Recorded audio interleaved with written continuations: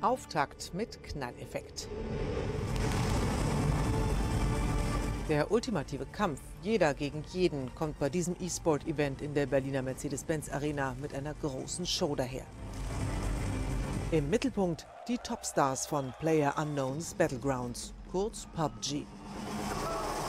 Das Shooter-Game gehört zu den derzeit beliebtesten Online-Computerspielen. Und bei den PUBG-Weltmeisterschaften wird ermittelt, wer der oder die Beste am Drücker ist. PUBG ist ein sogenanntes Battle Royale-Spiel.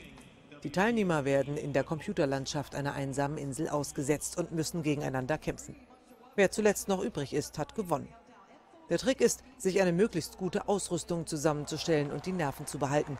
Denn das Schlachtfeld wird im Lauf des Spiels immer kleiner. Dante Borghesi vom Team Gates erklärt, worauf es ankommt. Das ist alles Mentalsache und wie du mit anderen zusammenarbeitest. Man muss nicht nur gut spielen können. Es dreht sich darum, wie du mit deinen Schwächen und Höhenflügen umgehst. Und außerdem muss man natürlich auch außerhalb der Turniere genug Drive haben, um noch härter zu arbeiten als die anderen Teams.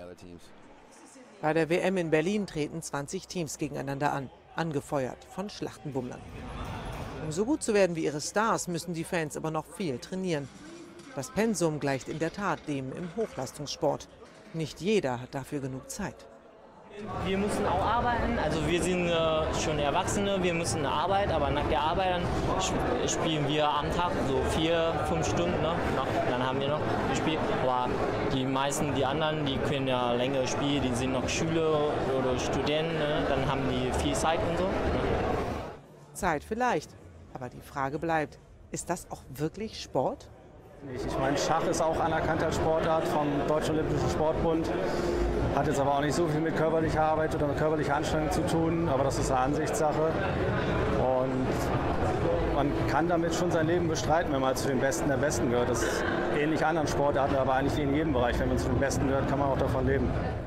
Definitiv davon leben kann Brandon Green, der Erfinder von Player Unknowns Battlegrounds. Insgesamt haben wir jetzt weltweit auf allen Plattformen 400 Millionen Spieler. Ich glaube, 80 bis 90 Millionen spielen täglich und über 200 Millionen monatlich. Das Turnier in Berlin dauert vom 25. bis 29. Juli. Die ersten Tage gehören den Wettkämpfen der sogenannten Third-Person Perspective. Hier konnte sich das Team Genji Gold aus Südkorea durchsetzen.